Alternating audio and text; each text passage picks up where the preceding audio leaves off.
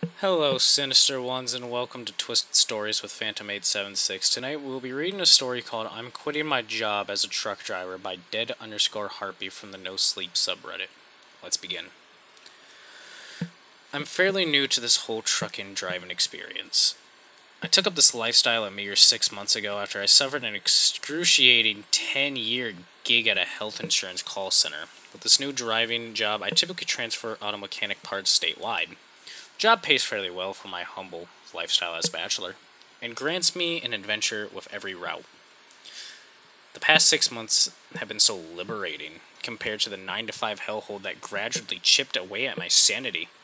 I couldn't take another second sitting in that suffocating cubicle without going absolutely psychotic or strangling myself with a headset cord. The open road was my savior. I spent every day traveling somewhere with my own truck and blasting my own music.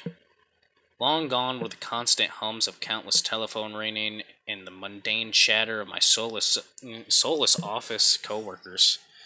I have been able to explore the nooks of my state, and I've met so many interesting characters during these travels. Despite the liberation that truck driving delivers, after this latest journey, I think I'm ready to hang my hat and leave this industry altogether. You see, this last route took me along the desolate old dirt road out to the boony outskirts of Amarillo, Texas. The deliveries started as any other. I was to transfer custom automobile parts to a receiving facility in the heart of Amarillo, with my departure beginning in Fort Worth. I had quite the extensive drive ahead through the plains of Texas. The drive was unremarkable and lengthy. I drove through numerous boony towns that consisted of rusted buildings, depleted streets. The interstate highways offered no saving grace from the dull drive at all. Vast brown plains extended on either side of my truck while mesquite trees folded over themselves, starved for a drop of water. Dry tumbleweed skittered alongside the dry breeze as if in an effort to escape the scorched earth.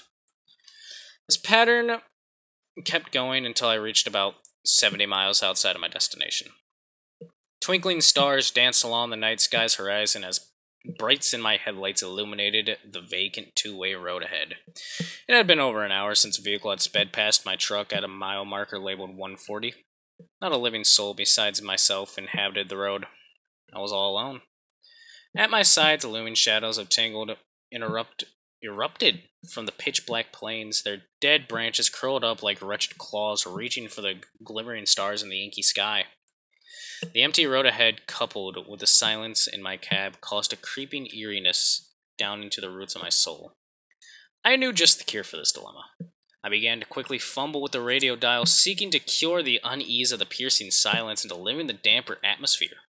I was met with drowning static with each radio station I dialed through. I furrowed my brow as I knew that the lack of radio signal should have been impossible with my proximity to the city. I sped past the mile 66 marker while pondering the cause of the radio's inability to receive a signal. I altered from peering at the radio and to back to the desolate road when a flicker of light caught my eye in the side of the mirrors of my truck. This pinprick of a single headlight shined through the immense darkness behind me. Finally, I thought a motorcyclist embarking on a late night cruise will relieve my spirit. Sighed a breath of relief as the loneliness began to disappear from my racing mind. I turned off the radio and refocused my attention to the long stretch of road ahead. I peeked back at the side of my mirrors to check on my lone companion. My breath caught in the dry in my dry throat. What was a pinprick of light evolved into a bright orb of luminosity in the matter of seconds. How did this traveler manage to get so close of distance in such short moments? Their figure was still obscured by the cloak of darkness, but their headlight was rapidly intensifying as they sped forward. I slowed my speed to allow the traveler, the traveler to bypass my truck. I glanced back to the left side of my mirror to discover that this was the motorcyclist was now maintaining a healthy distance beyond behind my truck. My heart stopped upon closer inspection. All my previous presumption of this person was rendered false. This was no motorcyclist at all. In fact, it was a bicyclist. How in the hell did he pedal in the means of move so damn fast? Perplexed, my eyes squinted to further study this phenomenon. Almost immediately, my situation went from quite odd to absolutely terrifying. The figure was entirely naked. Smooth white skin covered its tall, thin frame, and possibly long, crooked arms extended from the handlebars of the bicycle. Pointed elbows jutted outwards towards the dark sky as enormous claws gripped the bike's handles. This person's legs were too long for its body. Its sharp knees projected outwards, me meeting its wretched elbows. The figure was comical. I mean, its body was just too damn dull compared to the bicyclist's petite frame. Its face was the most horrifying of all. It was entirely smooth and devoid of both eyes and a nose. White skin stretched over its hollow eye sockets all the way down to a sharp spear-like chin. However, an incredibly wide mouth extended to where its ears should have been. Rows of jagged teeth, similar to a shark's, decorated an impossibly broad smile, with pedaled with a merry tempo, slowly zigzagging while its long limbs side past each other's disgusting dance. I floored on the gas pedal. My heart pounded as the truck's engine roared with all the horsepower it could muster. I could only see the bike's headlight fade into a minuscule ball of light as the distance between us speedily increased. I exhaled the trapped air from my lungs as the figure disappeared from view.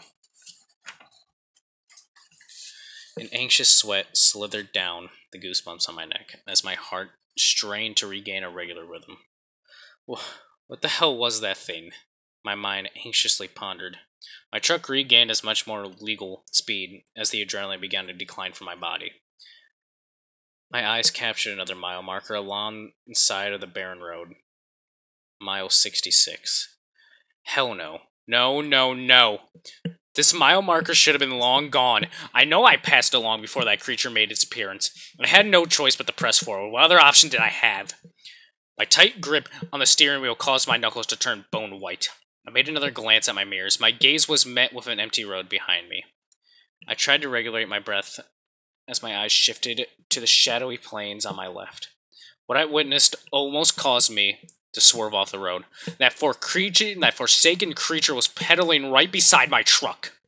Its smile was so damn wide that the top half of its head caved in towards its backside. Its razor sharp teeth embellished a gaping black hole that it was its mouth. I hit the gas pedal in hopes to escape my tormentor once again, except this time it kept up. Speed. Its long, spindly limbs appeared as if they were in overdrive, scissoring up and down with intense extortion, its head tilted up to the sky as if it was laughing at my pathetic efforts to escape. Up, down, up, down, up, and down, and went its honed legs as it maintained speed with the acceleration of my truck. My breathing intensified, and my heart thudded with was only raw fear. I quickly shifted my eyes to the right side of the road. My Mile marker 66 reappeared once more, and I released a brutal wail. As if in mockery, the enter entity began to cheeringly zigzag its bicycle in delight of my panic. Its frenzied pedaling persisted as I tried to escape. What the fuck do you want from me? Leave me the hell alone! I screamed at the top of my lungs while hot tears streamed down my quivering face. The creature shook its white head to the sky, letting out a silent laugh of pleasure. Suddenly, it slowed its speed to a lazy stride as if it was taking, taking a casual ride out. I accelerated once more, and the figure faded from view. I cried, I cried like a baby cries for its mother. Why was this happening to me? Why was I the victim of such torment? What was that thing? Now, I'm not much of a believer of the paranormal, but I'm definitely reconsidering my worldview once I reach Amarillo slowed as another mile marker made its way into view. Mile 66. My heart dropped as I continued in the only direction I could go in onward. This continued for several more minutes as I sped forward as my truck crept over a low hill. On the other side, waiting, the creature was casually bicycling forward, now in front of me. How did it manage to bypass my truck without my notice? It was beyond me. I had thrown out all logic and reason many miles ago. The creature slowly spun its head to look at me. Its body was still facing forward, its mouth stretched into that terribly insane smile. Suddenly, it bellowed a screech of a banshee. My blood ran as cold as ice. However, I quickly devised a plan. If my fate was to suffer in this purgatory, I didn't want my tormentor to exist in this hell alongside me. I pounded the gas pedal with all my strength and raced forward. This only made the creature smile wider. My heart pounded so hard I thought I was going to burst in a bloody heap from my chest. Closer, closer. Ahead was mile marker 49. Closer, oh my god, please work. My truck collided with my assailant. Its thin, wiry body entangled upon itself as it hit my windshield. A collision of thuds could be heard atop of the cab. I screeched to a halt. I put my truck in park and exited. There was the creature's bicycle in front of my truck. Its wheels were bent over themselves like a dying roach curling in death's wake after being sprayed. I slowly paced towards the back of my truck and peered behind the cargo bed. The creature laid mutilated in the road. It was a broken mess of limbs, cracked in all unnatural directions. I peeked at its face. Even in death, its wide, razor sharp smile pointed to the sky, having a final laugh. I started to hear cracking. The bastard wasn't dead. Its limbs began to fumble for stability. It snapped its neck, and its horrifying grin met my eyes. I wasted no time and I sprinted back into my truck and floored the gas. In my mirror, the creature began to crawl upside down on all of its broken limbs. It scrambled like a black widow ready to capture its prey. It gave one last pre scene screech from its terrible mouth as I left. The creature was left into the dust. I drove for what felt like hours. The road lay vacant as the black plains begun to sprinkle with scattered house lights. I passed a sign once more. Amarillo, 25 miles. I was free. I made it to Amarillo not long after. I delivered my shipment and phoned my boss immediately and gave my registration. I have no idea what happened on that goddamn night. I don't know what that damned creature was. What I do know is that I'm scarred beyond repair, and I sincerely hope that car call center will take me back.